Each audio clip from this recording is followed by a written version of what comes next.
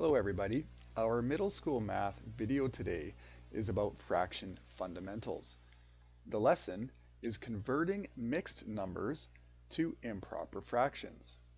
This is a mixed number. It's called a mixed number because it is a mix of a whole number and a fraction. Often in math, we need to convert mixed numbers to improper fractions. The first thing you should know is that anytime you convert a fraction from one form to another, the denominator always stays the same. So your first step is to write in the same denominator. Next, we need to figure out what the numerator is. To do this, you take the denominator in your mixed number and multiply it by the whole number. Next, you would add the numerator. So in this example, we would have 3 times 8 which is 24. And then we would add 2 to get 26. Let's take a look at a few more examples.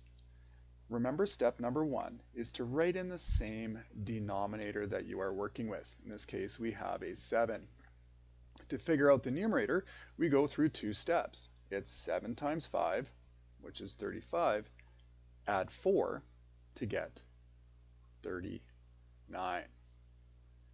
Okay, in this example, we have a denominator of 9, so we start off by writing that in, and then we figure out the numerator by going through two steps. 9 times 3 is 27, plus 5 is 32. When students are just beginning, it's normal to write in these arrows with these cues here so that they know to multiply and add but it isn't necessary to do that. So let's practice four more examples without drawing in those arrows. In our first example, we are working with a denominator of 3, so we start off by writing that in.